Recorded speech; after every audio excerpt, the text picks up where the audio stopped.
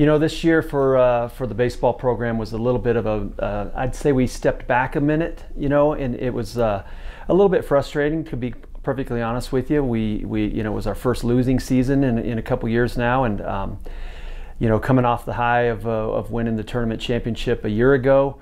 Um, I think we had high expectations. Um, I felt like we did lose some key pieces, obviously um, with uh, Silva and McDermott and Richards and Anderson. You know, some big some big players in our uh, in our experience last year. But we felt like we had guys to step in and and and you know make up for for those losses and. Unfortunately, it just didn't quite work out the way we had planned. We got off to a little bit of a tough start with California, a couple California trips. Um, played them tough and then we had a little bit of COVID set in, you know, at the beginning of the year, and that always, you know, creates some challenges for everybody. Um, and then uh, got into conference play and, and did okay. I think we, we kind of hung in there a little bit in the beginning and then got to the bulk of our schedule and the meet, you know, with some tough teams, and, and we kind of got uh, got got it handed to us a little bit, and it was very humbling for all of us and uh, a little bit frustrating for sure.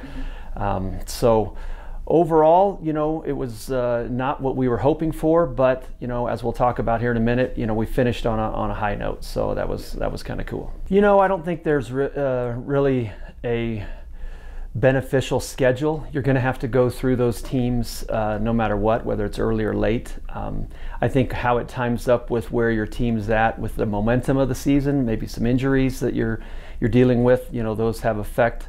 Um, and we did start to get a little bit of the injury bug creeping up on us, um, you know, as we got into the middle of our schedule. And, you know, so we maybe weren't full strength uh, for a couple of those series. And, and um, but it was good to scratch out one game, you know, from each of those top two teams um, on the final day. You know, you don't want to wait till the end and kind of just you know sneak one one win. You would like to compete a little bit more um, throughout the weekend, and so we had some trouble uh, early on in the in in those series, um, and then get, gained a little bit of momentum. You know, had a decent series at Adams, and uh, um, Regis was a tough one. They they uh, kind of surprised uh, everybody in the league, I think, with uh, with some of their uh, youth and energy, and and you know, and the way they played at their ballpark.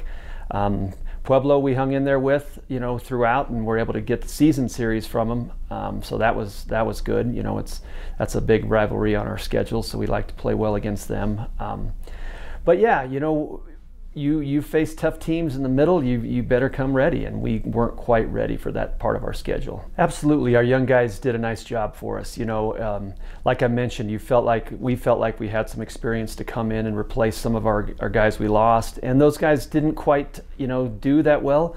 But at the same time, we did have some youth that got opportunity. Um, guys like Kit Wigginton, you know, established themselves at a pretty early part of the season. Uh, Caleb Stubbings had a really nice year. Um, he established himself.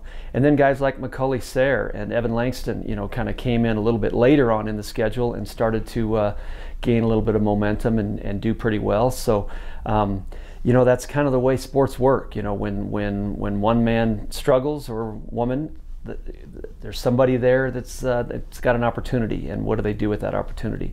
So we do look forward to our you know our, our next year with with a couple bright spots out of this out of this year that say hey these guys have stepped up. We've got some some young leaders on the team some young players that are ready to uh, to come in and and and give us that momentum and you know swing us back in the right direction um, like we have been in the last couple years you know the message going into that tournament and, and, as you said we we snuck in with the sixth seed so we didn't come roaring into the to the tournament. But um, everybody that was in that huddle with in our team knows what happened a year ago. We come out of that that uh, that tournament with the with the trophy. And we had a lot of returning guys and and whether they were contributing players or not they were there and they they were a part of it. And the message to them was this is a championship group. We have we have the experience of winning a championship that nobody else does other than the one team that we beat. And they know what happened last year as well. So I think the message right away was just like you said, it's it's we're uh, everybody's 0 0. Let's go there and, and let's compete right from pitch number one and grind it out throughout the weekend. And we know how to win there. Um, nobody else does other than than Colorado Mesa. You know, with with what's happened in our league over the last several years. So. Um, I think we just tried to jolt a little bit of reminder that hey, we are the RMAC champions. Let's go in there with that mentality, and uh, it doesn't matter what's happened up to this point. Um, a lot of you guys are new to this. A lot of you guys have been through this and know what to do. So let's go. Let's go throw our hats out there as the defending champions and make somebody take it from us. And we competed our butts off. You know, I was very proud of the way the guys stuck in there and, and grinded it out with some really good teams. We, you know, we had Mesa on the ropes in the eighth inning, um, opening night of that tournament in their ballpark in the home crowd in the first night of the championship. You know, we we came out and had a good lead on them going into the latter part of that game, and with an opportunity to win, and that was that was huge for uh, our confidence, our our momentum. Didn't quite work out the way we'd hoped. Lost a tough one, um, but then rolled that momentum right into the next day. Won a game. Now all of a sudden, you know, you win a game, you go on, and you know there's some some confidence that goes with that played a Pueblo team that we had just beaten a couple times the previous week, so we were confident against them. You know, we're able to take them, and we hung in there with Metro for the first few innings, and uh, they just, you know, they had a really strong offensive club and got it rolling against us on Saturday, and and we had a hard time stopping them. So it's kind of the way the tournament went, but it was it was great for our young guys to feel that, feel that excitement, you know, of playing championship quality baseball in a championship atmosphere, you know, under the lights against good teams, and that was that was that was fun. And so it really really gave everybody a boost. Guys that weren't contributors in the tournament just had a blast. They had felt the excitement. They said some of them said they'd never been a part of something like that. That little mini run that we made and it just really makes what we do all year long really you know really worth it that you have some exciting baseball at the end. And i just had this conversation with a with a recruit yesterday. If you're playing meaningful games at the end of your season that's all you can ask for. And it really really showed a little something about our character um, at the end of, to be able to finish out the season like that. Next year you know it's going to be about uh, kind of if, if, if, if I can throw it back to our, our early you know early years is developing leaders. You know we had some really strong leadership um, that we'd grown our program on, um, and then we took a step back in that area this year. So I think the message to the returners, who are the leaders in this group, and we want you to step up and, and be leaders amongst um, yourselves and your teammates.